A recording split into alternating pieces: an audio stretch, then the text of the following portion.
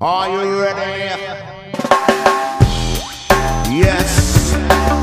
Are you ready? I'm often asked why these wines sometimes give off an aroma of poop or manure. And it's true, they sometimes do, and it's, it's a smell that I oftentimes refer to as barnyard funk or fertile soil in my tasting notes, and you'll see a lot of other people refer to it similarly or in, in other ways. The cause of that poop or manure smell in your wine is a wild yeast called Brettanomyces, which is most often referred to as Brett, and that's what we're going to call it here for the purpose of this conversation.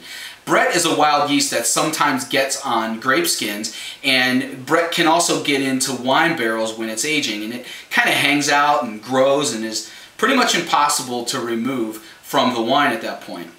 When Brett shows up in a wine, it creates an earthy and organic poop or manure-like aroma and flavors that sometimes don't sound too appetizing.